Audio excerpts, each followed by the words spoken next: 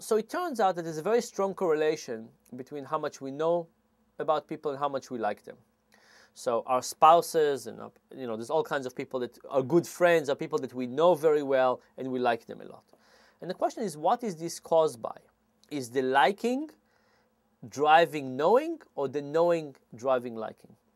And what people intuitively think is that knowing driving liking. I learn a bit more about you, I would like you more. I learn more about you, I would like you more.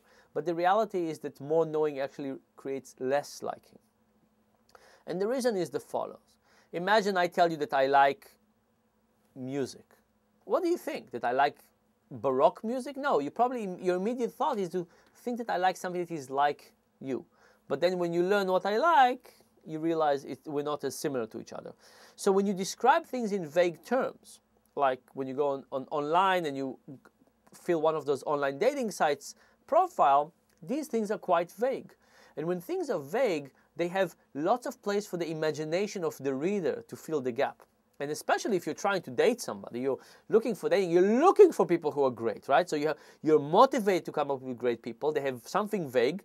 you find out all these great things, and then you get, you get crushed. so, so there is this sense in which vagueness allow our imagination to run wild, to be over optimistic, and then sadly we get crushed by it.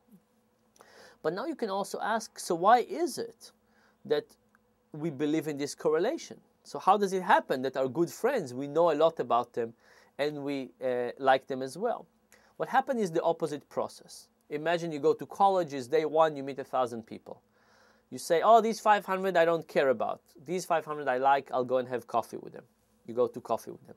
Then 250, you say, ah, so so. 250, you said, oh, I really like those, I'll have lunch with them. And you'll have lunch with them, and so on. So what happened is that because you like people, you keep them as your friends for longer. So, in fact, in reality, it's the liking that is driving knowing. The more you like somebody, the more that you stay, stay with you, and then you get more chances to learn more about them and know them better. But if you just take a random person and you just add knowledge, it actually creates less liking.